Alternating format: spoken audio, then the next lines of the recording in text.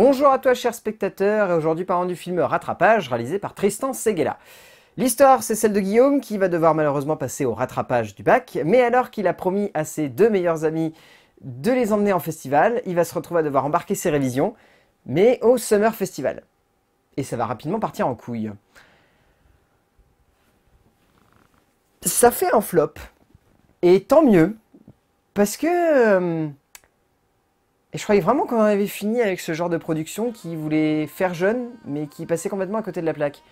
Et pour le coup, étonnamment, Tristan Seguela, c'était un réalisateur qui avait fait un film juste avant qui s'appelait 16 ans ou presque, qui était plutôt drôle, qui avait un concept assez sympa et qui s'en sortait plutôt bien. Mais alors là, Rattrapage est une comédie jeune aussi ringarde que ridicule et dont le plagiat de Very Bad Trip est très très mal dissimulé. C'est assez hallucinant parce que quand tu te retrouves avec un méchant principal qui est un chinois et que le méchant du premier Very Bad Trip c'était également un chinois, quand tu as un ami qui disparaît comme dans Very Bad Trip, quand c'est plutôt censé être une soirée qui se passe bien mais dont les personnages se souviennent de pas grand chose comme dans Very Bad Trip, au bout d'un moment faut se calmer au niveau plagiat. Et en termes de plagiat, Olivier Demanger et Tristan Seguela, ils ne le cachent pas. Et c'est surtout ça, en fait, le gros souci du long métrage. C'est que résultat, c'est un plagiat complet de Very Bad Trip. C'est seulement avec des jeunes, dans un trip de jeunes, dans un festival. C'est tout. Mais en termes d'écriture, il n'y a aucun intérêt dans ce film. C'est extrêmement mal écrit. Et pour moi, je synthétiserai ça uniquement avec la scène d'oral de fin du long métrage. La scène d'oral de fin du long métrage est l'exemple d'un film beaucoup, beaucoup, beaucoup trop long, alors qu'il ne dure qu'une heure 25, pour un concept qui ne tient à aucun moment vraiment ses promesses. C'est un plat constant en termes de dramaturgie. Le film n'a aucun climax, le film n'a aucun retournement, le film n'a aucune ambition dramatique. On se retrouve clairement devant le genre de long métrage, devant lequel on est stoïque, on ne rigole quasiment pas, et on est plus en train de se poser des questions du genre que font ces personnages-là? À partir de ce moment-là, pour moi, un long métrage, s'il ne réussit pas ces petites étapes, il est complètement à côté de la plaque. Et c'est ce qui arrive avec Rattrapage. Demangel et Seguela ont écrit un film complètement à côté de la plaque. Ça se ressent vraiment dans cette séquence d'oral de fin. C'est plat, c'est long, c'est mal écrit, c'est mal joué, c'est vraiment mal mis en scène. Il n'y a rien en fait qui tient cette scène. C'est assez hallucinant, mais il n'y a vraiment rien qui tient cette scène.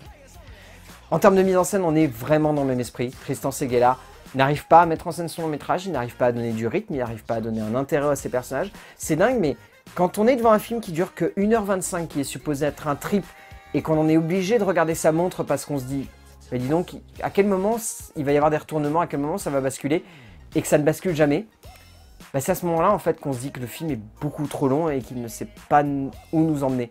Et c'est faussement intelligent parce que c'est encore une fois comme dans Very Bad Trip, ça s'ouvre avec une scène qui est supposée teaser toute la suite du long métrage. Genre comment ils ont fait pour en arriver là? Et le comment ils ont fait pour en arriver là de l'ouverture est clairement ridicule quant à ce que le long métrage cherche à emmener derrière. C'est vraiment consternant. Cette séquence d'ouverture, c'est une séquence d'ouverture qui nous fait croire qu'ils sont arrêtés par la police et qu'ils sont sur le point de passer des jours et des jours en prison. En fait, non, pas du tout. Genre pas du tout, je vous dis pas quel est le retournement au cas où si vous voudriez aller voir, mais ça inclut des voitures de mini-golf et une course-poursuite ridicule. Voilà. À partir de ce moment-là, t'as envie de dire le long métrage, il sait pas du tout quoi faire de nous et il sait pas du tout où nous emmener. Et le casting ne va pas aider en ça parce que le casting n'est vraiment pas bon. Mais genre vraiment pas bon. Jimmy Labeu est complètement à côté de la plaque, il n'arrive pas du tout à emmener son personnage. Anthony Sonigo, qui était la double révélation des beaux gosses avec Vincent Lacoste, est mauvais ici. Mais genre vraiment mauvais. À aucun moment il est crédible, à aucun moment il est potable, à aucun moment il est entraînant. Ce personnage est détestable alors qu'on est supposé avoir de l'empathie pour lui. C'est dingue, mais il est mauvais. Et que dire de Tanguy Onakoy ou Max Bessette de Montglaive qui, qui, qui... Ils sont tous pas bons dans ce film. Le casting est pas bon, le film a un mauvais esprit.